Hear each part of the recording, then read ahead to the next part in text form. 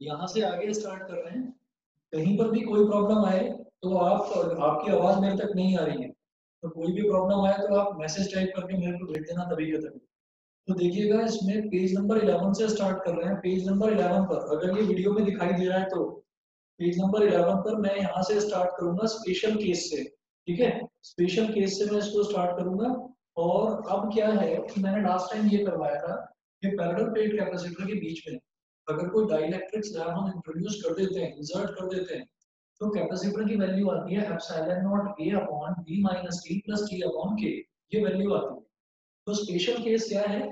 Special case में है if the dielectric fills the entire space between the plates ठीक है?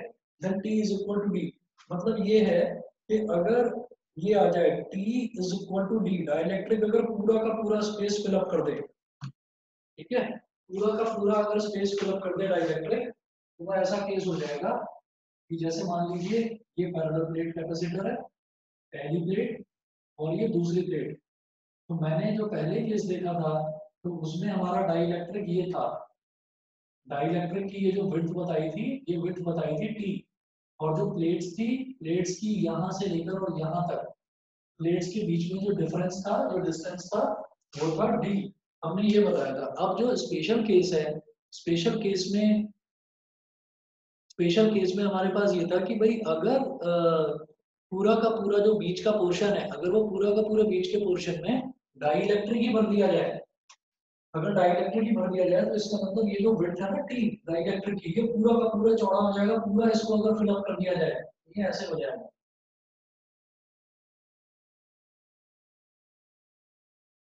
पूरे में मैंने डाइलेक्ट्रिक भर दिया यहाँ से लेकर और यहाँ तक डाइलेक्ट्रिक स्लैब ही पूरा फिलअप कर दिया बीच में। यानी कि ये जो बीच वाली लेंथ है टी और ये जो बीच वाली लेंथ ली थी डी, ये दोनों की दोनों इक्वल हो जाए। डाइलेक्ट्रिक की विड्थ यानी कि डाइलेक्ट्रिक की चौड़ाई भी डी है और जो distance between the parallel plates है वो भी, वो वो डी है। तो डी और डी दोनों के दोनों अगर इक्वल हो जाएँगे तो आप खुद देखिएगा, अगर दोनों इक्वल हो जाएँगे तो कैपिटल सी की वैल्यू क्या आ जाएगी? Capital C will be equal to epsilon naught A upon D minus T तो क्योंकि यहाँ पर अगर पूरा इसको भर दिया जाए तो T is equal to D T और डी दोनों इक्वल हो गए। तो जहाँ पर टी है, वहाँ भी डी डाल दीजिए तो D minus D plus D upon K क्या है यहाँ? Dielectric constant minus D plus D cancel out हो गया। Capital C is equal to epsilon naught A upon D upon K अब ये के ऊपर आ जाएगा। तो ये हो जाएगा बेटा epsilon naught A upon D into K epsilon naught A upon D into K और ये जो epsilon naught A upon D ये जो वैल्यू है, ये किसकी वैल्यू होती है? ये उसकी वैल्यू होती है कि अगर अगर इसमें कैपेसिटर में जो बीच का एम्प्टी स्पेस है वहाँ पर सिर्फ़ वैक्यूम हो या एयर हो मतलब कोई डाइलेक्ट्रिक ना हो। यानी कि ये कैपेसिटर सी नॉट की वैल्यू होती है आप देखिए जो इक्वेशन नंबर वन में मैंने लिखवाया। तो C इज़ इक्वल टू हो गया C नॉट इंटू के तो यहाँ से मैं कह सकता हूँ कि K is equal to C upon C naught ये बता दीजिए ये आपको क्लियर है कि नहीं? यस सर चलिए ठीक है फाइनली आवाज़ आ गई तुम्हारी। चलो जी। अब इसके बाद अगला टॉपिक देखते हैं। यहाँ पर ये देखना है कि अगर कोई भी कैपेसिटर है पेज नंबर 11 पर ही नेक्स्ट टॉपिक है, देखिए ये रहा। पेज नंबर 11 पर capacitance of a parallel plate capacitor with a conducting slab मतलब क्या है कि अब मैंने बीच में डाइलेक्ट्रिक नहीं रखा, अब मैंने बीच में कंडक्टिंग स्लैब डाल दी तो कंडक्टिंग स्लैब जब बीच में डाल रखी है तो उस केस में कैपेसिटेंस पर क्या फ़र्क पड़ेगा? ये देखना है। आकृति जितने मैंने नोट्स आज भेजे थे वो कंप्लीट कर लिए तुमने? यस सर कर लिया चलिए जी वेरी गुड अब फिर वही चीज़ है आप देखेंगे इसमें इक्वेशन नंबर वन जो है मैं पढ़ रहा हूँ आप कहीं पर भी अगर अटके तो मुझे बताइएगा अगर कहीं पर भी कुछ लगे कि कोई चीज़ नहीं आ रही है समझ में तो ये जो टॉपिक है इसमें consider a parallel plate capacitor of plate area capital A plates का एरिया कैपिटल ए है and plate separation small D plates के बीच में सेपरेशन स्मॉल डी है if the space between the plates is vacuum its capacitance is given by c naught is equal to epsilon naught a upon d मतलब ये वाला epsilon naught a upon d अगर दोनों plates के बीच में कुछ भी नहीं रखा हुआ है सिर्फ़ वैक्यूम है तो c naught is equal to उस केस में जो कैपेसिटर कैपेसिटेंस होता है उसको c naught बोलते हैं। C naught is equal to epsilon naught a upon d ये है इक्वेशन नंबर 1 फिर नेक्स्ट देखिए। Suppose initially the charges on the capacitor plates sir ये के की वैल्यू क्या हो गई? मतलब इसकी और वन बता गई इसकी? सर के जो आपने हाँ ये जो k होता है ना ये k होता है डाइलेक्ट्रिक कांस्टेंट ये होता है डाइलेक्ट्रिक हाँ तो कैपेसिटेंस अगर बीच में डाइलेक्ट्रिक डाला गया तो और कैपेसिटेंस जब बीच में डाइलेक्ट्रिक नहीं है तो C अपॉन C नॉट ये जो रेशियो है ये डाइलेक्ट्रिक कॉन्स्टेंट है। ओके सर ठीक है? अच्छा। Suppose initially the charges on the capacitor plates are plus minus Q then the uniform electric field set up between the capacitor plates is जब बीच में कुछ भी नहीं है कैपेसिटर प्लेट्स के बीच में कुछ भी नहीं है एम्प्टी स्पेस है। तो उस दौरान जो इलेक्ट्रिक फ़ील्ड होता है इलेक्ट्रिक फ़ील्ड का ये रिलेशन होता है। इससे पहले वाले में भी मैंने यही कहा था, ये होता है सिग्मा यानी कि surface charge density upon epsilon naught sigma upon epsilon naught ठीक है? और इसको मैं लिख दूँगा q upon a epsilon naught ये शायद तुम्हें समझ में आ गया होगा। क्वेश्चन नंबर टू ये क्यों? बिकॉज़ सिग्मा ये जो सिग्मा होता है स्मॉल सिग्मा इसकी वैल्यू होती है q अपॉन a. तो सिग्मा की जगह q अपॉन a डाल दिया और डिनोमिनेटर में एप्सिलॉन नॉट तो पहले से था ही। ये हो गई हमारी इक्वेशन नंबर टू अब ये तब की बात चल रही है जब कैपेसिटर प्लेट्स के बीच में हमने कुछ भी नहीं डाला है ना तो डाइलेक्ट्रिक ना कंडक्टिंग स्लैब और ये वाला जो मैं डेरिवेशन कर रहा हूँ, ये कंडक्टिंग स्लैब वाला कर रहा हूँ। समझ गए? तो इनिशियली हमारा पोटेंशियल डिफरेंस कितना होगा? मैं जानता हूँ कि जो इलेक्ट्रिक फ़ील्ड होता है, वो होता है v upon l. Since e is equal to या सीधा सीधा v नॉट ही करो potential difference v naught is equal to e naught into d. E naught into d. और e नॉट मैं अभी अभी निकाल चुका हूँ q अपॉन ε नॉट तो q upon A epsilon naught into D. यानी कि हमारा जो V naught है वो आ गया बेटा QD upon A epsilon naught यहाँ तक समझ में आ गया? यस सर ये V नॉट हमारा इनिशियल पोटेंशियल डिफरेंस है। जब तक मैंने दोनों पैरेलल प्लेट्स जो पैरेलल प्लेट कैपेसिटर है उसकी प्लेट्स के बीच में जब तक मैंने कोई कंडक्टिंग स्लैब नहीं डाला ये तब तक का पोटेंशियल डिफरेंस है।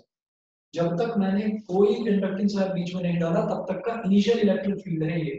ये इनिशियल कैपेसिटेंस है सी नॉट समझे अच्छा अब आप नेक्स्ट पेज पर आ जाइए पेज नंबर ट्वेल्व पर। बल्कि पेज नंबर ट्वेल्व पर अभी बताइए बिल्कुल नीचे देखिए इलेवेंथ पर बिल्कुल नीचे। हाँ। सर ये जो इलेक्ट्रिक फ़ील्ड है और जो ई नॉट है वो हमारी कंडक्टिंग स्लैब की इनिशियल इलेक्ट्रिक फ़ील्ड है ना? ना। जो हमने प्लेस ना ना ना ना कंडक्टिंग स्लैब की मैंने बात ही नहीं करी है। ये कब का केस है जब हमारे पास ये है, सिर्फ़ ये।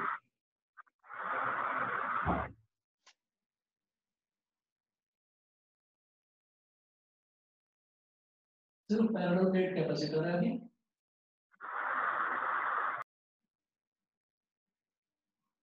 ये पैरेलल प्लेट कैपेसिटर दे रखा है, ठीक है? और अभी तक मैंने बीच में कुछ भी नहीं डाला। तो initial electric field when there was nothing between the two plates ये तब की बात है। ओके हाँ ई नॉट होता क्या है हमारा? एक्सटर्नल इलेक्ट्रिक फ़ील्ड ना? तो ये एक्सटर्नल इलेक्ट्रिक फ़ील्ड है। कि अभी मैंने एक्सटर्नली इलेक्ट्रिक फ़ील्ड जो लगाया है बस उतना। बताइए क्लियर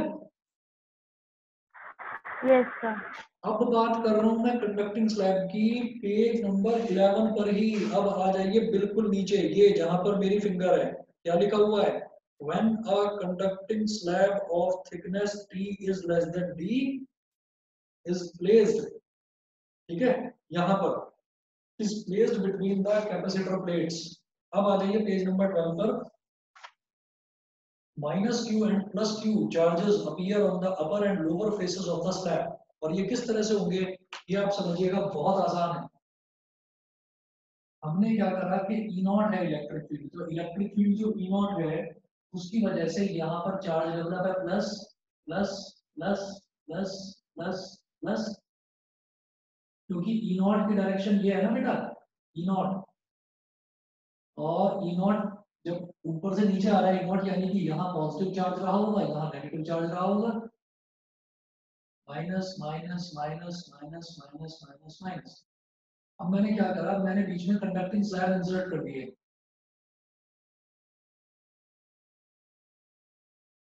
कंडक्टिंग स्लैब जब मैंने बीच में इंसर्ट करी है तो आप ये देखिए कि यहाँ पर पॉजिटिव है। तो यहाँ पर ऑटोमेटिकली नेगेटिव डेवलप हो जाएगा। और यहाँ नेगेटिव है तो यहाँ ऑटोमेटिकली पॉजिटिव डेवलप हो जाएगा। अब मैं बताता हूँ आपको रीजन क्या है। वैसे आप समझ गए होंगे रीजन बस एक ही चीज़ से समझ में आ जाएगा कि ये जो बीच में है ना बेटा, ये कंडक्टर है कंडक्टिंग स्लैब है। तो कंडक्टिंग स्लैब का मतलब ये है कि इलेक्ट्रिक फ़ील्ड प्रॉपरली फ्लो होगा। और जब इलेक्ट्रिक फ़ील्ड प्रॉपरली फ्लो होगा मतलब कंडक्शन होगा और जब कंडक्शन होगा तो इधर पॉजिटिव चार्ज है तो ऑटोमेटिकली यहाँ नेगेटिव बन जाएगा तभी ऐसे होगा फ्लो तभी करंट का फ्लो इस तरीके से होगा। ये समझ में आ गया? यस सर ठीक है? तो इसलिए यहाँ पर पॉजिटिव है तो यहाँ नेगेटिव ऑटोमेटिकली डेवलप होगा यहाँ नेगेटिव है तो यहाँ पॉजिटिव ऑटोमेटिकली डेवलप होगा। और हमको ये मालूम है कि जो कंडक्टिंग स्लैब होता है कंडक्टर के अंदर जो इलेक्ट्रिक फ़ील्ड होता है, वो टोटली ज़ीरो होता है। तो इसके अंदर वाला जो इलेक्ट्रिक फ़ील्ड है, वो टोटली ज़ीरो हो गया। तो क्योंकि ये कंडक्टिंग स्लैब है तो जब अंदर इलेक्ट्रिक फ़ील्ड पूरी तरह से ज़ीरो हो गया तो ये जो थिकनेस है टी स्मॉल टी इसके अंदर इलेक्ट्रिक फ़ील्ड है ही नहीं। ये जानते हैं ना, एक परफेक्ट कंडक्टर जो होता है, उसके अंदर इलेक्ट्रिक फ़ील्ड की वैल्यू ज़ीरो होती है। तो इलेक्ट्रिक फ़ील्ड ज़ीरो हो गया। तो अब इलेक्ट्रिक फ़ील्ड कितने पोर्शन में बचेगा? इलेक्ट्रिक फ़ील्ड सिर्फ़ इस इसमें और इसमें इतने इतने पोर्शन में ऊपर ये जो बचा हुआ खाली स्पेस है यहाँ और ये जो बचा हुआ खाली स्पेस है यहाँ पर इलेक्ट्रिक फ़ील्ड बचेगा। तो इलेक्ट्रिक फ़ील्ड यहाँ पर होगा नहीं तो हम ये कहेंगे, आप देखिएगा, यहाँ पर ये लिखा हुआ है, इसीलिए देखिए पेज नंबर ट्वेल्व पर सेकंड लाइन ये जो लिखी है ये जो लाइन लिखी हुई है now the electric field now the electric field exist only in the vacuum region between the plates of the capacitor on either side of the slab that is the field exist only in the thickness D minus T electric field सिर्फ़ D minus T thickness में ही exist करेगा। ये समझ गए आप? Yes sir है ना? बेटा टोटल थिकनेस थी डी है ना? और जो बीच में टी थिकनेस है, वो टी थिकनेस किसकी है? वो है कंडक्टर की, है ना? तो कंडक्टर में तो इलेक्ट्रिक फ़ील्ड एग्जिस्ट नहीं करता। इलेक्ट्रिक फ़ील्ड ज़ीरो होता है तो इलेक्ट्रिक फ़ील्ड सिर्फ़ इस पोर्शन में और इस पोर्शन में बचेगा। और ये दोनों पोर्शन इन दोनों की टोटल लेंथ कितनी है? D माइनस टी तो d माइनस टी में इलेक्ट्रिक फ़ील्ड बचेगा मेरे पास। देयरफॉर जब कंडक्टिंग स्लैब इंट्रोड्यूस कर दी गई इंट्रोड्यूस करने से पहले जो हमारा इनिशियल पोटेंशियल था, वो था बेटा वी नॉट लेकिन इंट्रोड्यूस करने के बाद अब v कितना हो जाएगा? नाउ अब पोटेंशियल डिफरेंस कितना हो जाएगा? Capital V is equal to electric field कितना है? यहाँ पर भी, यहाँ ये जो एम्प्टी स्पेस है, यहाँ पर इलेक्ट्रिक फ़ील्ड ई नॉट है, यही external electric field E naught E naught और डिस्टेंस कितना है? डिस्टेंस लिया जाता है ना? डिस्टेंस डिस्टेंस है D minus T E naught into D minus T अब क्या करो? आप इक्वेशन टू से ई नॉट की वैल्यू सब्स्टिट्यूट करो। तो v इज़ इक्वल टू कितना हो गया? Q upon a epsilon nought d minus T ये हो गया। ठीक है? अब जब ये मैंने निकाल लिया तो कैपेसिटेंस कितना हो जाएगा? Therefore capacitance C is equal to Q upon V है ना? तो C कितना हो जाएगा? ये, Q upon V और Q Q तो Q है चार्ज और V की वैल्यू ये मैंने निकाल ली। V की वैल्यू क्या है? Q upon A epsilon nought multiplied by D minus T Q से बेटा Q कट गया। ये ये ऊपर आ गया epsilon nought A epsilon nought A upon D minus T epsilon nought A upon D minus T अब एक काम करेंगे। ये कैपिटल C की value I epsilon nought A upon D minus T बेटा मैं इसको ऐसे लिख सकता हूँ epsilon nought A upon D और इसको D upon D minus T ये बताइए। यस सर तब आप समझ जाएँगे, मैंने ऐसा क्यों लिखा है? क्योंकि epsilon nought A upon D, ये वैल्यू होती है C नॉट की ओरिजिनल जो कैपेसिटेंस था। बीच में कंडक्टिंग स्लैब इंट्रोड्यूस करने से पहले वाला जो कैपेसिटेंस था, C nought epsilon nought A upon D तो मैंने यहाँ पर लिख दिया, C is equal to, C is equal to C naught multiplied by D upon D minus T.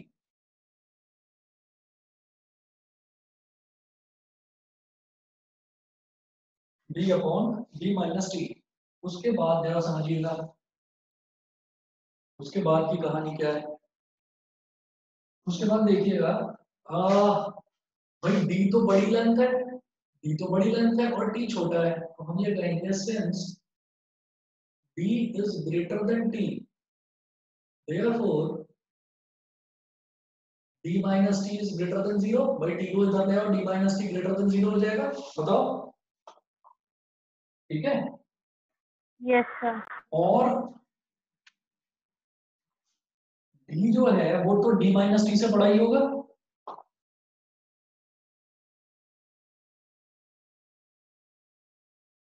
भाई डी माइनस टी का मतलब क्या है कि मैंने डी में से कुछ सब्ट्रैक्ट कर दिया है ना? और डी तो बड़ी वैल्यू है।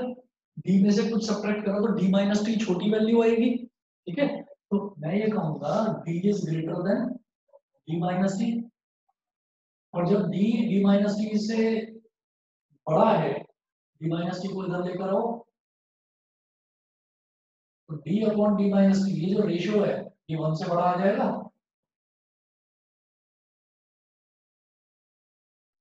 यस सर ठीक है? और जब वन से बड़ी किसी भी टर्म को मैं सी नॉट में मल्टीप्लाई करूँगा तो सी नॉट की वैल्यू ज़्यादा ही आएगी। है ना तो इससे हमको क्या समझ में आता है it implies that c is equal to c naught into d upon d minus t d upon d minus t एक ऐसी टर्म है जो वन से बड़ी है। उसको सी नॉट में मल्टीप्लाई करूँगा तो वैल्यू सी नॉट की वैल्यू बढ़ जाएगी। फॉर एग्जांपल वन से बड़ी वैल्यू कितनी हो गई? 1.1 तो सी नॉट 1.1 टाइम्स हो गया। फिर या फिर 1.2 या फिर 1.5 तो 1.5 है तो वो डेढ़ गुना हो गया 1.5 टाइम्स हो गया तो हम कहेंगे that capital C is greater than C naught capital C is greater than C naught समझ गए यस हाँ जी तो वही है पेज नंबर 13 पर आ जाइए show the introduction of a conducting slab of thickness small t in a parallel plate capacitor increases its capacitance by a factor of d upon d minus t तो d upon d minus t times उसका initial capacitor का मतलब capacitor का जो initial capacitance था वो d upon d minus t times बढ़ जाता है क्लियर है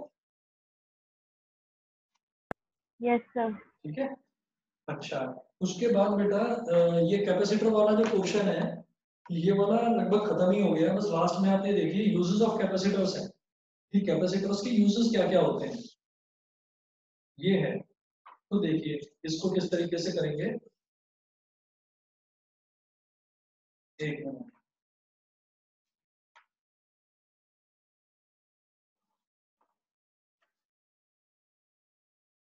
हाँ जी। Uses of capacitors तो पहला है to produce electric fields of desired patterns. Example millikan's experiment. तो millikan's experiment जो है, वो आपका प्रैक्टिकल में करवाया जाता है। अब प्रैक्टिकल कब होगा, कब नहीं होगा, ये पता नहीं। ठीक तो मतलब फॉर द टाइम बीइंग बस ये समझिए कि ये इलेक्ट्रिक फ़ील्ड के जो पैटर्न्स हैं, उनको स्टडी करने में काम आते हैं कैपेसिटर पहला यूज़ दूसरा use in radio circuits for tuning tuning का मतलब क्या होता है कि जो रेडियो के चैनल्स हम सेट करते हैं ना मैनुअली वैसे तो आजकल ज़्यादातर ऑटोमेटिक ट्यूनिंग आ रही है। पर पहले रेडियो के चैनल्स जो होते थे मतलब जो रेडियो हम सुनते हैं एफएम वगैरह, उसके चैनल्स को पहले मैनुअली ट्यून करा जाता था नॉब को घुमाकर, ठीक है? तो रेडियो सर्किट्स की ट्यूनिंग में काम आता है कैपेसिटर थर्ड है, in power supplies for smoothing the rectified current power supplies में रेक्टिफाइड करंट का मतलब होता है वो करंट जिसकी वैल्यू मैंने कोई ना कोई स्टेबलाइजर यूज़ करके, जिसकी वैल्यू को मैंने बढ़ा लिया है। तो रेक्टिफाइड करंट को स्मूथ करने के काम आता है। मतलब जिसमें जिसमें करंट में फ्लक्चुएशंस ना हो तो फ्लक्चुएशंस को रिमूव करने में कैपेसिटर का यूज़ होता है। तो यूजेस है थ्योरेटिकल क्वेश्चन बनता है तो इतना इतना आप लर्न कर लेना, छह एप्लीकेशन इसकी बता दी है, छह में से कोई आप चार याद कर देना सफिशियंट है। और देखिए for producing rotating magnetic field in induction motors induction motor जो कि बेसिकली नॉर्मल जो मोटर होती है वो नॉर्मल मोटर जो है हमारी फ़ैन में भी यूज़ होती है, जो घरों में मिक्सर जूसर वगैरह होते हैं, उनमें भी यूज़ होती है। तो उसमें इसका काम होता है रोटेटिंग मैग्नेटिक फ़ील्ड प्रोड्यूस करने कैपेसिटर फिफ्थ है in the tank circuit of oscillators oscillators आप इसी साल पढ़ेंगे लास्ट चैप्टर है बिल्कुल, उसमें आप पढ़ेंगे ऑसिलेटर्स क्या होते हैं। ऑसिलेटर्स वही हैं जो सिंपल हार्मोनिक मोशन पढ़ा था ना इलेवंथ क्लास में। तो सिंपल हार्मोनिक मोशन को प्रोड्यूस करने वाली डिवाइस को ही हम ऑसिलेटर बोलते हैं। ठीक है? अच्छा। फिर सिक्स्थ है इसका application they store not only charge but also energy in the electric field between their plates ये प्लेट्स के बीच में सिर्फ़ और सिर्फ़ चार्ज को स्टोर नहीं करते एनर्जी को भी स्टोर करते। बताइए जी इतना क्लियर है? आगे चलें। यस सर ठीक है? उसके बाद देखिएगा क्वेश्चन की फॉर्म में है दो क्वेश्चंस हैं और बड़े आसान है और इंटरेस्टिंग है। देखिए क्वेश्चन क्या है?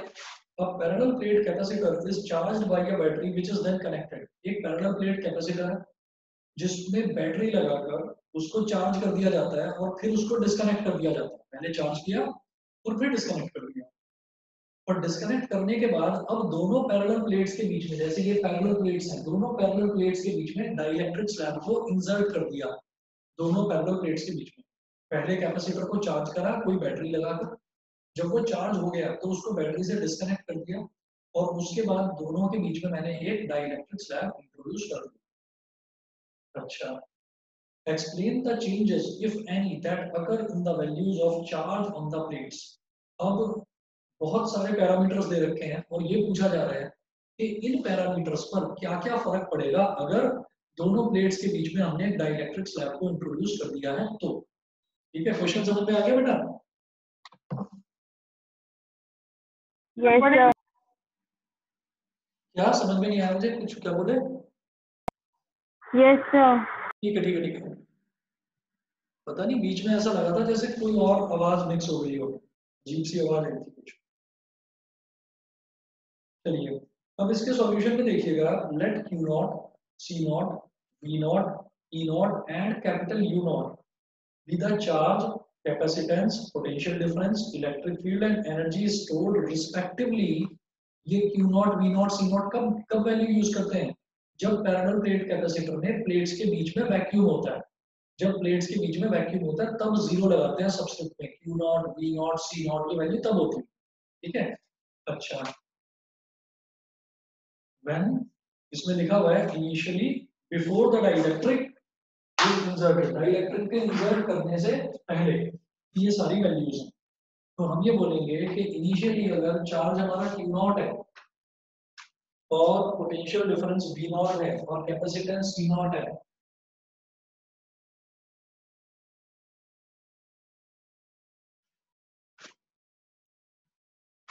तो Q नॉट की वैल्यू क्या हो जाएगी? C nought into V nought Q is equal to C होता है। तो इनिशियली जब हमने डाइलेक्ट्रिक वगैरह कुछ भी बीच में इंसर्ट नहीं करा है तब चार्ज की वैल्यू क्या हो जाएगी? Q नॉट Q नॉट मतलब Q nought is equal to C nought into V nought उसके बाद इलेक्ट्रिक फ़ील्ड क्या होगा? इलेक्ट्रिक फ़ील्ड क्या होगा? जब V होता है इलेक्ट्रिक फ़ील्ड इनटू लेंथ तो इसका मतलब इलेक्ट्रिक फ़ील्ड क्या हो जाएगा? पोटेंशियल डिफरेंस अपॉन लेंथ यानी कि E nought is equal to V nought upon D. और जो एनर्जी स्टोर्ड होती है वो हमें मालूम है हाफ़ सी वी स्क्वायर होती है या हाफ़ क्यू वी ले लो या हाफ़ क्यू अपॉन एम ले लो ये होती है वैल्यूज़ मैंने बोला ये हो जाएगा U nought is equal to half C naught V naught square. Half C naught V naught square. बताइए यहाँ तक तो समझ में आ गया होगा? यस सर अब देखिएगा कि जब हमारे पास एक कैपेसिटर था और कैपेसिटर में मैंने बैटरी लगाकर कैपेसिटर को कर दिया चार्ज। फिर मैंने क्या करा, जब कैपेसिटर पूरी तरीके से चार्ज हो गया, कैपेसिटर के चार्ज होने के बाद मैंने उसमें एक डाइलेक्ट्रिक स्लैब बीच में इंसर्ट कर दिया डाइलेक्ट्रिक स्लैब जैसे ये कैपेसिटर था, इसके चार्ज होने के बाद मैंने बीच में डाइलेक्ट्रिक स्लैब इंट्रोड्यूस कर दिया। तो ये बताओ, कैपेसिटर के चार्ज पर कोई फ़र्क पड़ेगा क्या? क्योंकि मैंने डाइलेक्ट्रिक स्लैब इंट्रोड्यूस करा है अब जो डाइलेक्ट्रिक स्लैब है और बाहर का बेटा कोई भी इलेक्ट्रिक फ़ील्ड नहीं है। मेरी बात ध्यान से सुनना। कि क्वेश्चन में क्या दे रखा है कि हमने एक पैरेलल प्लेट कैपेसिटर को एक बैटरी से चार्ज करा। जब वो चार्ज हो गया तो हमने बैटरी को डिस्कनेक्ट कर दिया। तो कैपेसिटर तो चार्ज हो गया। बीच में डाइलेक्ट्रिक स्लैब इंट्रोड्यूस कर दिया। तो जब बैटरी ही हटा दी तो जब बैटरी ही हटा दी तो तो चार्ज तो सेम रहेगा। हाँ? सर, चार्ज तो वही रहेगा ना, क्योंकि हमने बैटरी डिस्कनेक्ट की हुई थी। बस बस बस बस, ये चीज़ मैं बताना चाह रहा था, ये चीज़ क्लियर है ना? क्योंकि बैटरी डिस्कनेक्ट कर दी तो चार्ज तो सेम रहेगा। चार्ज का फ्लो होगा ही और फ्लो होगा भी कैसे? क्योंकि वो बीच में डाइलेक्ट्रिक स्लैब है। डाइलेक्ट्रिक तो जब कोई इलेक्ट्रिक फ़ील्ड होता है ना, यानी कि बैटरी कनेक्टेड होती है तो तब डाइलेक्ट्रिक को फोर्स किया जाता है कंडक्ट करने के लिए। ऐसे तो वो कंडक्ट करता ही नहीं है। तो हम ये बोलेंगे, पहला पॉइंट है पेज नंबर 14 पर देखिए। the charge on the capacitor plates remains q not only because the battery has been disconnected before the insertion of the dielectric slab dielectric slab को insert करने से पहले ही बैटरी हटा दी थी तो चार्ज तो सेम रहेगा सेकंड है इलेक्ट्रिक फील्ड अब हम बोलेंगे when the dielectric slab is inserted between the plates the induced surface charge on the dielectric induced surface charge on the dielectric reduces the field to a new value जो हमारा नया electric field है, वो थोड़ा सा reduce हो जाएगा। क्यों? क्योंकि डाई इलेक्ट्रिक बीच में मैंने डाल दिया है। बीच में डाई इलेक्ट्रिक डाल दिया मेरी बात ध्यान से समझ समझ रहे बेटा? जैसे हमने यहाँ पर इस वाले केस में कंडक्टिंग स्लैब था तो कंडक्टिंग स्लैब जो होता है, उसके अंदर इलेक्ट्रिक फ़ील्ड ज़ीरो होता है। तो इलेक्ट्रिक फ़ील्ड हमारा ओरिजिनली रहता है ई नॉट लेकिन जब कोई डाई इलेक्ट्रिक आ जाता है तो डाई इलेक्ट्रिक का जो इलेक्ट्रिक फ़ील्ड होता है, वो ज़ीरो नहीं होता। उसकी कुछ ना कुछ वैल्यू होती है। तो इस वजह से हमने कहा कि उसकी वैल्यू कितनी हो जाएगी? जो नया इलेक्ट्रिक फ़ील्ड बनेगा उसकी वैल्यू हो जाएगी E upon V is equal to E nought upon K. ये समझ गए?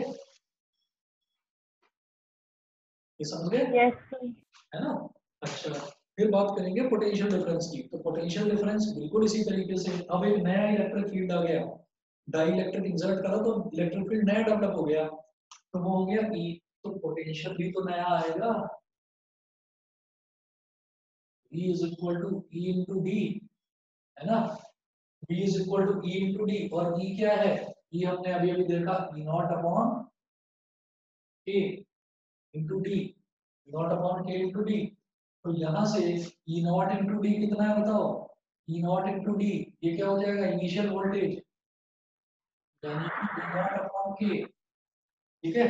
तो इस तरह से हमारा बी कितना आ गया v नॉट अपॉन के समझ गए होंगे? यस सर नेक्स्ट देखिए कैपेसिटेंस कैपेसिटेंस क्या होगा जब हमारा वोल्टेज नया बन गया तो कैपेसिटेंस भी तो नया बन जाएगा। तो c कितना होता है? सी होता है q अपॉन v है ना? तो ये हो जाएगा यहाँ से। चार्ज तो सी था तो चार्ज तो हो गया क्यू नॉट लेकिन बी चेंज हो गया v v nought upon v हो गया क्यू नॉट अपॉन v की वैल्यू कितनी है? V nought upon k. अब ये k तो ऊपर आ जाएगा। ये बचा Q nought upon v nought into k और Q nought upon v nought कितना होगा? C नॉट तो c is equal to c nought into k. बताओ। बताइए? समझ गए होंगे? आसान है ये तो क्वेश्चन यस सर और लास्ट वाला देखिए एनर्जी स्टोर्ड इधर कर रहा हूँ।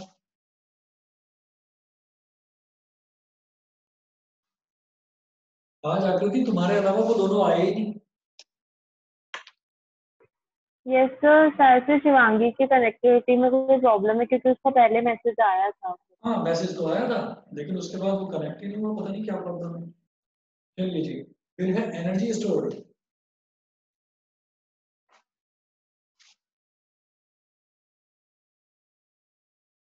U is equal to half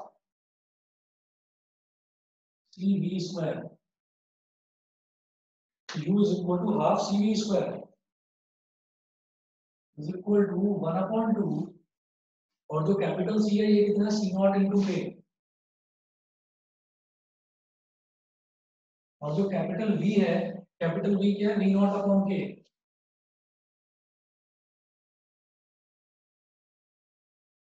इसका whole square half C nought into K और वी नॉट का स्क्वायर अपॉन के स्क्वायर। एक के से एक के कट गया। इस के को अलग निकाल दो बस। वन अपॉन के, ये तो अलग निकाल लिया। और ये बचा half C nought into V nought का स्क्वायर। खुद बताइए, half C nought into V nought का स्क्वायर हमारा क्या था? Initial energy. तो ये हो गया। और ये मैं निकाल क्या रहा हूँ U u is equal to 1 upon k u naught तो u कितना आ गया 1 upon k u naught यानी कि u naught upon k ये हो गया ठीक है अच्छा बेटा बस एक मिनट आप वेट करो मैं ना पानी लेकर आता हूँ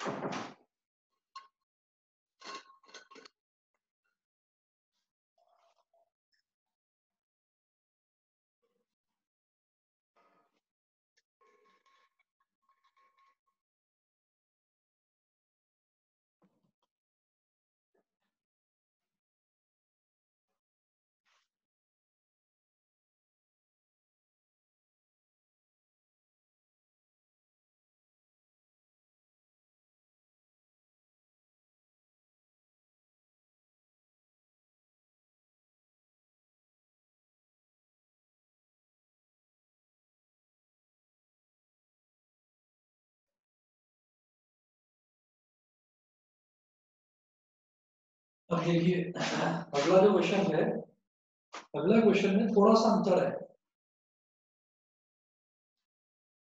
आवाज़ आ रही है मेरी?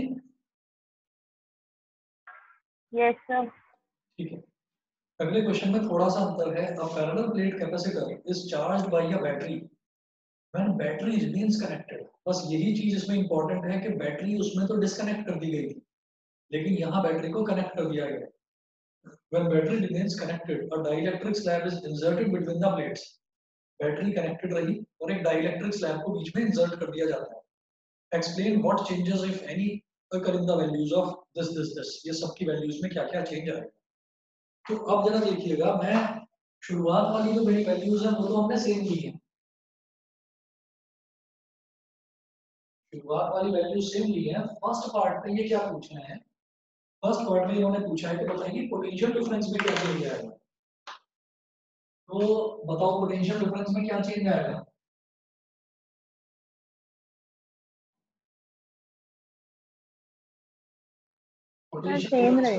कोई भी चेंज नहीं आएगा सेम रहेगा। रीजन पोटेंशियल डिफरेंस प्रोड्यूस किससे होता है? बैटरी से। भाई बैटरी के टर्मिनल पर वी लिखा हुआ देखा है ना आपने? जो ये बैटरी बनी रहती है। टर्मिनल क्या लिखा रहता है? प्लस माइनस वी वोल्टेज है ना?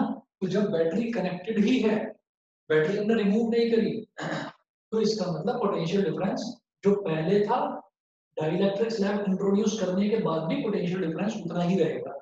समझ गए? यस सर ठीक है? तो ये तो फ़र्स्ट पॉइंट है पोटेंशियल डिफरेंस फिर दूसरा ये पूछते हैं कि इलेक्ट्रिक फ़ील्ड कितना होगा ये बताइए। तो वो भी सेम ही रहेगा। इलेक्ट्रिक फ़ील्ड जो है, वो भी आपका सेम रहेगा। क्यों? हमने कहा ई कितना हो जाएगा? ई हो जाएगा वी अपॉन डी ये फॉर्मूला होता है because B is equal to V nought तो ये हो गया वी नॉट अपॉन डी और वी नॉट अपॉन डी क्या था? इनिशियल इलेक्ट्रिक फ़ील्ड तो इलेक्ट्रिक फ़ील्ड भी आपका सेम रहा ई नॉट ये रहा। ठीक है? फिर नेक्स्ट देखते हैं। अब नेक्स्ट बात करेंगे कैपेसिटेंस कि कैपेसिटेंस में क्या अंतर आएगा? देखिएगा। कैपेसिटेंस की वैल्यू बढ़ जाएगी कैपेसिटेंस की वैल्यू इंक्रीज हो जाएगी C is equal to K into C nought कैसे? हमने कहा कि C कितना होता है? C होता है Q अपॉन V C होता है Q अपॉन V और आ, जो चार्ज है चार्ज की वैल्यू भी बढ़ेगी। हमने करा क्या यहाँ पर? हमने एक रिलेशन पढ़ा था कि जब भी कोई पैरेलल प्लेट कैपेसिटर होता है तो पैरेलल प्लेट कैपेसिटर के अंदर जब भी हम कोई डाइलेक्ट्रिक इंसर्ट करते हैं तो वो करा किस लिए जाता है? उसकी कैपेसिटेंस की वैल्यू बढ़ाने के लिए। उसकी वैल्यू बढ़ाने के लिए। और हमने यही पढ़ा था कि जब डाइलेक्ट्रिक स्लैब अंदर इंट्रोड्यूस कर दिया जाता है तो डाइलेक्ट्रिक स्लैब अंदर इंट्रोड्यूस कर दिया जाता है तो ए की वैल्यू क्या आती है? सी अपॉन सी नॉट जो नया कैपेसिटेंस है उसकी value divided by original capacitance तो कैपिटल सी कितना हो गया? ए इंटू सी नॉट इस चीज़ को तो दोबारा करके दिखाने की ज़रूरत नहीं है क्योंकि ये हम पैरेलल प्लेट कैपेसिटर में जब डाइलेक्ट्रिक इंट्रोड्यूस करते हैं उस डेरिवेशन में हम ये चीज़ कर चुके हैं। इसको छोड़ दें फिर? यस सर ठीक है और एग्ज़ाम में आपसे ऐसा ये वाली चीज़ पूछी नहीं जाएगी कि आप इस चीज़ को प्रूव करके दिखाएँगे वो फिर अलग से पूछी जाती है वो चीज़। ठीक है अच्छा अब बात करते हैं चार्ज की। ये तो समझ में आ गया ना सी कितना हो जाएगा? के इंटू सी नॉट तो सी तो बढ़ेगा ही बढ़ेगा। डाइलेक्ट्रिक स्लैब प्रोड्यूस करने पर सी की वैल्यू बढ़ जाती है। उसके बाद अगला देखते हैं। अगला इन्होंने क्या पूछा है? फोर्थ पार्ट फोर्थ पार्ट में पूछा है इन्होंने चार्ज तो चार्ज क्या है? The charge on the capacitor plates increases from q nought to q charge क्यों बढ़ेगा? चार्ज इस वजह से बढ़ेगा कि पोटेंशियल डिफरेंस पहले से ही शामिल है। अब आपने डाइलेक्ट्रिक स्लैब और इंट्रोड्यूस कर दिया। तो देखिएगा। अब मैं नए चार्ज की बात करता हूँ। मेरे चार्ज पूछ रहे हैं। तो अब नए चार्ज की बात करते हैं। तो नया चार्ज Q इक्वल टू क्या हो जाएगा? C CV C into V और नया जो कैपेसिटेंस है वो कितना हो गया? A इंटू सी नॉट और V जो है पोटेंशियल डिफरेंस वो सेम रहा। पुराने वाला ही। तो ये हो गया K multiplied by C nought into B nought और C nought into B nought क्या है बेटा? ओरिजिनल चार्ज क्यू नॉट है ना? Q nought is equal to C nought into B nought तो क्यू की वैल्यू क्या आ गई? ए इंटू क्यू नॉट समझ गए? ओके उसके बाद है फिफ्थ फिफ्थ में है energy store the energy store in the capacitor increases K times ये कैसे बढ़ा? जो फिफ्थ है एनर्जी एनर्जी की बात करते हैं तो U कितना होता है? Half C V square one upon two one upon two और कैपिटल सी जो है कैपिटल सी कैपिटल सी कितना है हमारा? K into C nought K into C nought और कैपिटल बी क्या है? कैपिटल बी सेम है बी नॉट बी नॉट का स्क्वायर तो ये हो गया half K C nought B nought square अब के को अलग निकाल लो। ये बचेगा half C nought B nought square बताइए half C nought B nought square क्या है? U nought K into U nought तो u is equal to k into u naught. बताइए समझ गए? सर ठीक अच्छा अब जरा अगला टॉपिक जो है वो अगला टॉपिक पढ़कर बताना क्या है? Discharging action of sharp points corona discharge आप तो कुछ नाम कुछ खतरनाक सा और जाना पहचाना सा लग रहा है? Yes sir. कोरोना डिस्चार्ज अब यहाँ से ये समझ में आएगा कि कोरोना होता क्या है। तो ये जो है ना कि कोरोना वायरस की जो बात है ये ऐसा है कि जो हवा में फैलने वाला वायरस है उसको इन्होंने नाम दे दिया कोरोना वायरस का। तो अब से पहले जब जब से ये कोरोना वायरस का ये जो पेंडेमिक है अब से पहले आपने कोरोना सुना है कभी वर्ड नो सर एक एक फार्मा कंपनी है वैसे कोरोना फार्मास्यूटिकल्स मैंने सुना है। ठीक? और दूसरा ये होता है तो ये क्या है कि कोरोना जो शब्द बना, वो बना ही इस वजह से है कि anything which can float in air तो ये वाला जो टॉपिक हम पढ़ेंगे, इस वाले टॉपिक में ये है कि क्या ऐसा भी होता है कि अगर मान लीजिए आपने जैसे सुना होगा कि आजकल नए नए और बड़े महँगे महँगे मोबाइल फोन्स आ रहे हैं, उन महँगे मोबाइल फोन्स का एक बड़ा अट्रैक्टिव फीचर होता है कि वायरलेस चार्जर कि आपको उसको एक एक रीजन में रख देना है। उस रीजन में एक इलेक्ट्रिक फ़ील्ड डेवलप्ड है। उस फ़ोन को आपने वहाँ रख दिया आपको वायर भी कनेक्ट करने की ज़रूरत नहीं है फ़ोन की बैटरी चार्ज होनी शुरू हो जाएगी। आपने अगर देखा हो कभी नेट पर देखा होगा एक गोल सी डिवाइस आती है। सर्कुलर सी डिवाइस आती है सैमसंग का मोबाइल फ़ोन आता है। तो पहले ये आता था कि उस गोल सी डिवाइस के ऊपर रख दो बस उसको। कहीं कनेक्ट नहीं करना बस उसके ऊपर रख दो। वो चार्ज होना शुरू हो जाएगा। आजकल एक नई डिवाइस आ गई है उसके आसपास वो बता देंगे इतने एरिया में। जैसे ब्लूटूथ होता है ना कि यहाँ से लेकर यहाँ तक ब्लूटूथ कैच करेगा। तो मोबाइल फ़ोन में गाने चल रहे हैं लेकिन ब्लूटूथ स्पीकर से आउटपुट मिल रहा है। कनेक्ट नहीं करा वायर वायर। वो चीज़ है। वो चीज़ इस चीज़ से डेवलप हुई कि क्या करंट या इलेक्ट्रिसिटी क्या हवा में भी फ्लोट करती है क्या हवा में भी फ्लो करती है? तो ये इसका जवाब ये है कि हाँ करती है। और उस चीज़ को हम बोलते हैं कोरोना डिस्चार्ज ठीक? अब वो चीज़ समझ लीजिए आप। ये देखिएगा कि जैसे ये एक डायग्राम बना रखा है इसमें, मैं ये मिटाकर यहाँ बना रहा हूँ। समझिएगा? बड़ा इंटरेस्टिंग है ये टॉपिक हालाँकि ज़्यादा डिटेल में है नहीं अपने सिलेबस में, लेकिन पढ़ने में बड़ा मज़ा आता है। और कॉन्सेप्ट काफ़ी छोटा सा है। देखिए, यहाँ पर ये कहा गया कि अगर मान लीजिए मैं किसी भी स्पेरिकल कैपेसिटर की बात करूँ या किसी भी स्पेरिकल कैपेसिटर भी छोड़िए कैपेसिटर भी करंट कंडक्ट करता है, हम कंडक्टर की बात करें, अगर कोई भी स्पेरिकल कंडक्टर है तो उसमें कुछ ना कुछ चार्ज होगा। अगर मैं उसमें कंडक्शन करना शुरू करूँ, कुछ ना कुछ उसके अंदर चार्ज होगा। अगर मैं उसमें बैटरी वगैरह कनेक्ट कर दूँ तो। लेकिन अगर उसकी थोड़ी सी शेप चेंज करी जाए तो कुछ अनबिलीवेबल अचीव किया जा सकता है। कैसे? हमने एक जो डायग्राम बना रखा है ना यहाँ पर, ये वाला जो डायग्राम है, ये वाला। तो ये क्या हुआ कि हमने स्फीयर की शेप को थोड़ा सा चेंज करके स्फीयर को एक कोने से पॉइंटेड कर दिया। ऐसा क्यों करा? सुनिएगा। ये स्फेरिकल कंडक्टर है और स्फेरिकल कंडक्टर को हमने एक कोना उसका थोड़ा ऐसा कर दिया पॉइंटेड और चार्ज कंडक्टर था तो बेटा चार्ज कंडक्टर का मतलब क्या है कि उसमें चारों तरफ़ चार्ज यूनिफॉर्मली डिस्ट्रीब्यूटेड है। अब क्या होता है? अब ये होता है कि जहाँ पर भी आप जानते हैं रेडियस ऑफ़ कर्वेचर क्या होता है? आपने लेंसेज में पढ़ा होगा मिरर में पढ़ा होगा radius of curvature yes yes sir same है ना हाँ हाँ बिल्कुल बिल्कुल साइंस बिल्कुल बिल्कुल। तो ऐसा होता है कि जैसे कितना बड़ा कर्व बन रहा है? ठीक है? तो उसका रेडियस ऑफ़ कर्वेचर अलग होगा। छोटा कर्व बन रहा है, उसका रेडियस ऑफ़ कर्वेचर अलग होगा। तो मैंने क्या करा? मैंने चारों तरफ़, यहाँ पर यहाँ पर यहाँ पर तो कर्व लाइन है, लेकिन यहाँ पर कर्व मैंने बहुत ज़्यादा शार्प बना दिया। मतलब आप ये समझ लीजिए कि मैंने कर्व को खत्म कर दिया एक तरह से। भाई कर्व तो खत्म ही हो गया ना यहाँ पर, इस पॉइंट पर।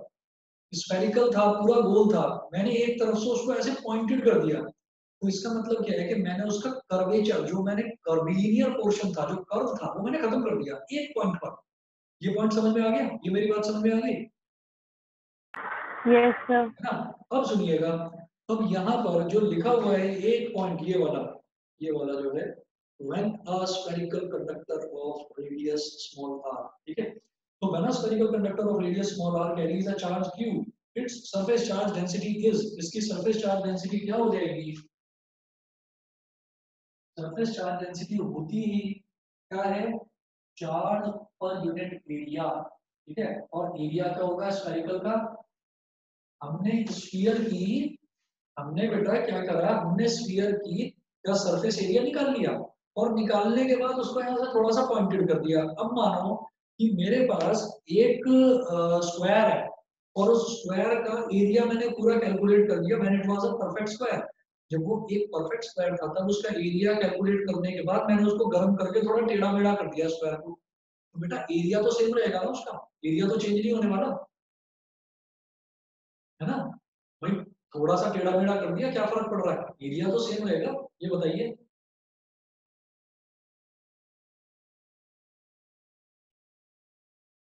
ऑनलाइन हो या गए? आवाज़ नहीं आ रही।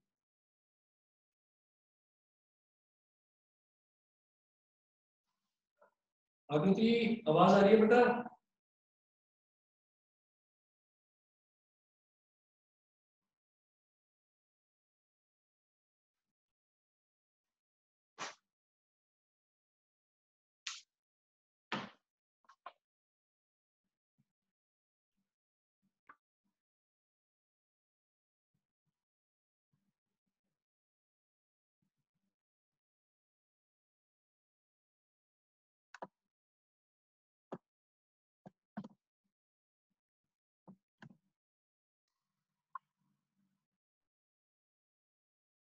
बेटा आवाज़ आ रही है।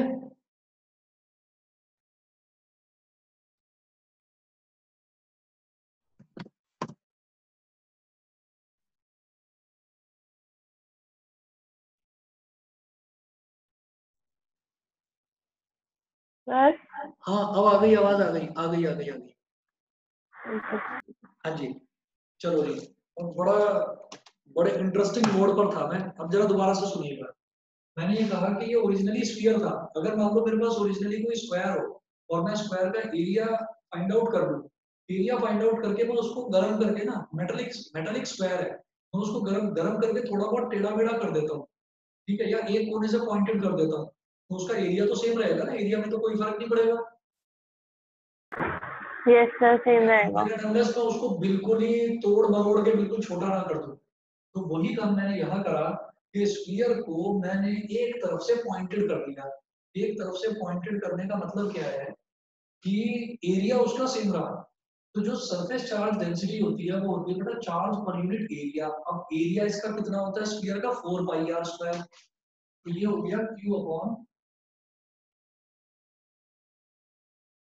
Q upon four pi R square है ना? तो ये चीज़ समझने वाली थी कि भाई जब यहाँ पर स्फीयर है नहीं तो सर रेडियस किस चीज़ का दे रहे हो? अब ये तो मुझे समझ में नहीं आया। तो अब ये चीज़ क्लियर हो गई कि ये आर क्या चीज़ है? है initially it was a sphere और फिर उसको मैंने थोड़ा सा टिल्ट करके एक तरफ़ से पॉइंटेड कर दिया। ठीक है? चले आगे? यस सर चलो जी अब अब अब अब अब नेक्स्ट पेज पर आते हैं। तो फिर ठीक है जब ये है तो फिर इलेक्ट्रिक फ़ील्ड कितना होगा। इलेक्ट्रिक फ़ील्ड की बात करते हैं इलेक्ट्रिक फ़ील्ड मुझे मालूम है कि surface charge density upon epsilon nought sigma upon epsilon nought होता है। सिग्मा की वैल्यू ये है तो ये हो गया q upon 4 pi epsilon nought r square ये वैल्यू आ गई इलेक्ट्रिक फ़ील्ड की, ठीक है? तो इसका मतलब इलेक्ट्रिक फ़ील्ड कुछ ना कुछ डेवलप होगा, क्योंकि इलेक्ट्रिक फ़ील्ड की वैल्यू यही होती है 1 upon 4 pi epsilon naught q upon r square यही होता है इलेक्ट्रिक फ़ील्ड पहले चैप्टर में पढ़ा था हमने तो इसका मतलब अगर मान लो मैं किसी भी एक स्फेरिकल कंडक्टर की बात करूँ तो इलेक्ट्रिक फ़ील्ड उसमें होगा। अब सुनिएगा बात मेरी ध्यान से। The pointed end of a conductor मेरी आवाज़ आ रही है ना? यस सर ठीक है। The pointed end of a conductor is highly curved and its radius of curvature r is very small ठीक हाईली कर्व्ड का मतलब क्या है? मैंने पॉइंट बना दिया यहाँ पर। पॉइंट बना दिया तो मैंने इसका कर्वेचर खत्म कर दिया। अगर कर्व ही नहीं है तो कर्वेचर मैंने इसका खत्म कर दिया, फिर भी हम ये कहते हैं कि मैं आइडियल कंडीशन की बात नहीं कर रहा हूँ, मैं प्रैक्टिकल कंडीशन की बात कर रहा हूँ। तो मैं कहूँगा कि प्रैक्टिकली मैं कभी भी ये नहीं कह सकता कि कोई चीज़ ज़ीरो हो गई। तो मैं ये कहूँगा कि चलो रेडियस की कुछ वैल्यू आ गई और रेडियस की वैल्यू आ गई बहुत बहुत बहुत बहुत छोटी। तो रेडियस की वैल्यू जब बहुत छोटी आ गई आर बहुत ज़्यादा छोटा हो गया तो हम बोलेंगे कि जब आर बहुत ज़्यादा छोटा हो गया तो आर का स्क्वायर क्या हो जाएगा? यहाँ पर आर का स्क्वायर है ठीक? तो आर का स्क्वायर कोई चीज़ अगर छोटी है कोई चीज़ बहुत छोटी है उस बहुत छोटी का जब स्क्वायर कर देते हैं तो वो और भी ज़्यादा छोटा हो जाता है। ध्यान से सुनना अगर है वो अगर मेरे पास 0.01 है तो बेटा बताना आर स्क्वायर क्या होगा? 0.0001 तो। आपने उसको पॉइंटेड बनाकर उसका radius of curvature almost almost खत्म कर दिया क्योंकि 0.01 बहुत छोटी वैल्यू होती है। और सोने पर सुहागा डिनोमिनेटर में आर स्क्वायर था। आर स्क्वायर का मतलब क्या? 0.0001 और छोटी वैल्यू आ गई। डिनोमिनेटर जितना छोटा होता चला जाएगा ओवरऑल इस फ्रैक्शन की वैल्यू उतनी ही बड़ी होती चली जाएगी because electric field is inversely proportional to r square तो आर स्क्वायर बहुत छोटा हो गया तो इलेक्ट्रिक फ़ील्ड बहुत हाई हो गया। समझ गए? समझ गए? आर स्क्वायर बहुत छोटा हो गया तो electric field is inversely proportional to r square तो इलेक्ट्रिक फ़ील्ड बहुत हाई हो गया। इलेक्ट्रिक फ़ील्ड बहुत हाई हो गया तो इसका मतलब चांसेस आर देयर कि ये जो एक डिवाइस बन गई ये जो एक पॉइंटेड स्फेरिकल कंडक्टर बन गया ये अपने आसपास इलेक्ट्रिक फ़ील्ड प्रोड्यूस कर सकता है। ठीक है? तो मैं अगली पॉइंट अगला लाइन पॉइंट पढ़ रहा हूँ। यह है if the conductor is given a charge q, then the charge density sigma at the pointed end will be very high. Charge density बहुत ज़्यादा हाई हो जाएगी। क्यों? क्योंकि आप ये देखिए कि इलेक्ट्रिक फ़ील्ड बहुत ज़्यादा हाई हो गया and electric field is directly proportional to charge तो इलेक्ट्रिक फ़ील्ड डायरेक्टली प्रोपोर्शनल है चार्ज के। इलेक्ट्रिक फ़ील्ड डायरेक्टली प्रोपोर्शनल है सरफेस चार्ज डेंसिटी के। तो चार्ज और चार्ज डेंसिटी दोनों बहुत हाई हो जाएगी। इसको पॉइंटेड करने से, ठीक है? अच्छा अगला पॉइंट है consequently the electric field near the pointed end will be very high, which may cause the ionization or electrical breakdown of the surrounding air. Air में भी जो छोटे छोटे छोटे छोटे आयंस घूमते रहते हैं, वो क्या करेगा? एयर तो एक डाइलेक्ट्रिक होता है बेटा, है ना? एयर कोई कंडक्शन नहीं करता। लेकिन इलेक्ट्रिक फ़ील्ड इतना हाई हो गया, मैंने पहले भी बताया था कि अगर बहुत ज़्यादा हाई इलेक्ट्रिक फ़ील्ड में किसी डाइलेक्ट्रिक को रखा जाता है तो हम ये बोलते हैं कि डाई इलेक्ट्रिक ब्रेकडाउन हो जाता है। ब्रेकडाउन मतलब डाई इलेक्ट्रिक अपनी इंसुलेटर प्रॉपर्टी छोड़ देता है, वो भी कंडक्ट करने लगता है। तो अब इलेक्ट्रिक फ़ील्ड इतना ज़्यादा हाई हो गया, इतना ज़्यादा हाई हो गया कि जो आसपास में जो एयर है, उसने उस एयर को आयनाइज करना शुरू कर दिया। आयनाइज मतलब उसमें भी कंडक्शन पैदा कर दिया एयर के थ्रू भी कंडक्ट हो सकता है। समझ हो मेरी बात? फिर the oppositely charged ions neutralize the pointed end while the similarly charged ions are repelled away अब हमने क्या दिखाया था कि यहाँ पर अगर कुछ नेगेटिव चार्जेस हैं तो वो तो अट्रैक्ट होंगे इसकी तरफ़ और अगर कुछ पॉजिटिव चार्जेस हैं तो वो रिपेल होंगे दूसरी तरफ़ सही है सही है आवाज़ आ रही है yes, sir. ठीक। और इसका आप थर्ड लास्ट पॉइंट सुनिएगा। इसमें है fresh air molecules come near the pointed end, and take away its charge setting up a kind of electric wind. ये हो जाता है काम। ये फ्रेश मॉलिक्यूल्स हैं एयर के। वो लगातार इसके पास आते रहेंगे आते रहेंगे, और इसका इलेक्ट्रिक फ़ील्ड इतना ज़्यादा हाई है कि वो उन एयर मॉलिक्यूल्स में से नेगेटिव चार्जेस को लेगा, और एयर तो हवा में फ्लो कर रही है। एयर हवा में फ्लो कर रही है तो वो नेगेटिव चार्जेस जो है, वो भी फ्लो कर रहे हैं। तो वो इन पॉजिटिव चार्जेस को लेंगे because electric field is very much higher और इलेक्ट्रिक फ़ील्ड की प्रॉपर्टी होती है कि वो नेगेटिव से, वो सॉरी पॉजिटिव से नेगेटिव की तरफ़ फ्लो करता है। तो फिर ये क्या बन जाएगी आसपास एटमॉस्फेयर में? इलेक्ट्रिक विंड मतलब बिजली की हवा। मतलब हवा में आप ये सोचिए कि इलेक्ट्रिसिटी फ्लो करने लगेगी हवा में। तो जब हवा में कोई चीज़ फ्लो करने लगती है तो that thing is known as corona discharge discharge मतलब कि चार्ज जो है, वो यहाँ से डिस्चार्ज हो रहा है। चार्ज जो है, वो यहाँ से निकल रहा है। तो इसका मतलब इस प्रोसेस को हम बोलते हैं एनीथिंग अभी वही चीज़ यहाँ पर कोरोना वायरस का जो है, उससे क्यों आपको समझ में आ रही होगी ये चीज़? क्योंकि कोई भी चीज़ जो हवा में फ्लो कर रही है, कोई वायरस जो है जो हवा में फ्लो कर रहा है वायरस का मतलब ये नहीं होता है वो हमेशा खतरनाक ही होता है। वायरस का मतलब ये है कि anything which is not suppose to flow in air that is also flowing in air electricity air में फ्लो नहीं करनी चाहिए लेकिन फिर भी कर रही है एक हमने ऐसा मैकेनिज्म डेवलप कर दिया तो this process is known as corona discharge this process by which the charge at the pointed end of a conductor gets discharged into the air is called corona discharge. This corona discharge is often accompanied by a visible globe near the pointed end. जब कभी ऐसा corona discharge होता है और हम कोई ऐसा spherical conductor देखें तो हम ये देखेंगे कि यहाँ जो पॉइंटेड एंड है ये पॉइंटेड एंड एकदम लाल हो जाता है चमकने लगता है। समझ गए? यस सर चलिए जी तो ये आपका लास्ट टॉपिक था और इस चैप्टर का और एक छोटा सा मतलब कंडक्टर के अंदर क्या क्या तरीके के चेंजेस हो सकते हैं एक छोटा सा टॉपिक और है होलो कंडक्टर के अंदर वाला। तो वो टॉपिक जरा सा है हार्डली दस पंद्रह मिनट लगेंगे उसमें। वो करके उसके नोट्स भी मैं अभी भेज दूँगा इसमें इंक्लूड करके।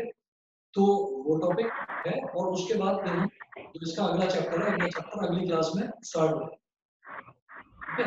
ओके सर हाँ जी तो बस आज के लिए इतना ही और बाकी अपना परसों करते हैं आगे continue okay sir thank you sir ठीक है okay good night sir good night good night